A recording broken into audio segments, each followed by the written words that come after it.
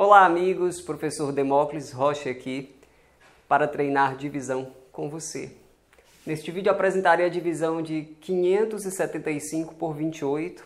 Se você apoia esta iniciativa, deixe o seu like. Se quiser ficar sabendo dos nossos próximos vídeos, inscreva-se no canal e acione o sininho das notificações. Agora vamos lá. Nessa divisão 575 é o dividendo, o valor que será dividido em partes iguais. 28 é o divisor, isso significa que realizaremos a divisão em 28 partes iguais.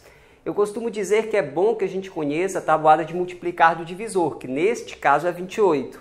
Eu não sei de qual a tabuada de multiplicar do 28, mas eu sei que 0 vezes 28 é 0, porque é nenhuma vez 28. Uma vez 28 é 28.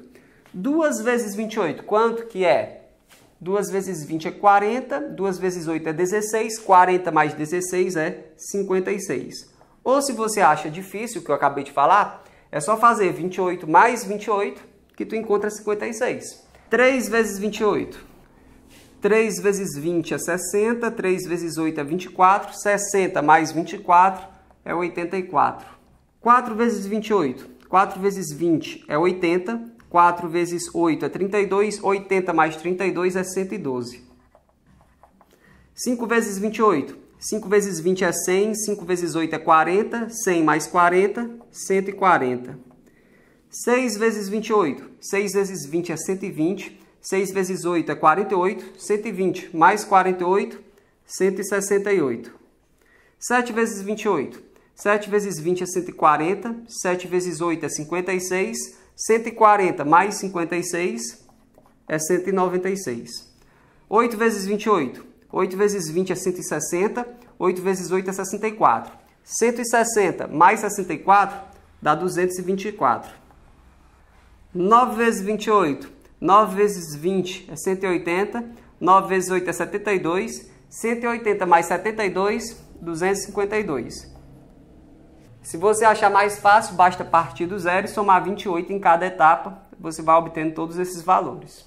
Beleza, vamos em frente. Começa olhando para o primeiro algarismo do dividendo. 5 é menor que 28, ainda não começo. Pego mais um algarismo, formou-se 57. Com ele dá para começar porque ele passa de 28. Aí a gente faz a perguntinha. Qual é o número de 0 a 9 que vezes 28 dá pertinho de 57 sem passar? 3 vezes 28 é 84, que passa, então o número procurado é o 2. Escrevo 2 no quociente, 2 vezes 28 é 56, eu escrevo bem aqui, aí eu faço uma subtração. 57 menos 56 é igual a 1. Depois de uma subtração, eu baixo o algarismo que vem em seguida. Agora formou-se o número 15 e eu faço a perguntinha. Qual é o número de 0 a 9 que vezes 28 dá pertinho de 15 sem passar? Uma vez 28 já passa de 15, então o número procurado é o zero. Escrevo zero no quociente, 0 vezes 28 é zero, eu escrevo bem aqui e realizo uma subtração. Você vai dizer que é muito fácil porque 15 menos 0 é ainda 15. Depois de uma subtração, a gente baixa o algarismo que vem em seguida. Não tem algarismo visível para baixar, o que, que isso significa? Isso significa que na divisão de 575 por 28, o quociente inteiro é 20 e o resto é 15. Eu vou anotar bem aqui, o quociente inteiro é 20 e o resto é 15. Lembrando que o resto é sempre menor que o divisor e maior que ou igual a zero. Beleza? Dá um exemplo, professor. Imagine que você quer dividir 575 livros igualmente entre 28 escolas. Cada escola recebe 20 livros e há uma sobra de 15 livros. 15 livros não podem ser divididos igualmente entre 28 escolas. Se você quiser verificar que a divisão foi realizada corretamente até aqui, você pode multiplicar o divisor e o quociente inteiro, pegar o produto e adicionar a ele o valor do resto. Fazendo isso, se a divisão tiver sido feita corretamente, você deve encontrar um valor igual ao dividendo. É por isso que eu digo, o dividendo é igual ao produto do divisor e do quociente inteiro, adicionado ainda do valor do resto. Sempre é assim. Agora, se você quiser continuar com a divisão, não tem problema. Basta colocar a vírgula no quociente. Como não temos algarismos visíveis, para baixar a gente baixa o zero. Formou-se agora o número 150 e eu faço a perguntinha. Qual é o número de 0 a 9 que vezes 28 dá pertinho de 150 sem passar? Veja que 6 vezes 28 passa, então o número procurado é o 5. escrevo 5 no quociente.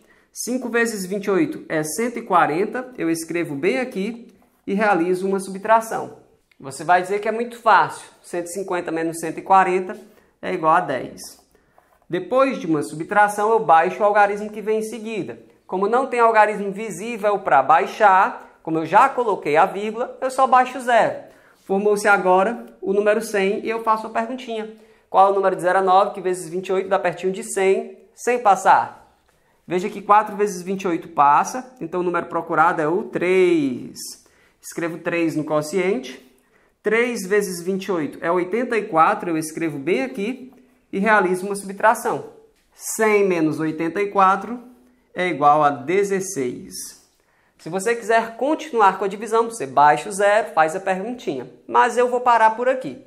Eu vou dizer que o quociente exato da divisão de 575 por 28 é aproximadamente 20,53, correto até a ordem dos centésimos, mas essa é apenas uma aproximação para o quociente exato.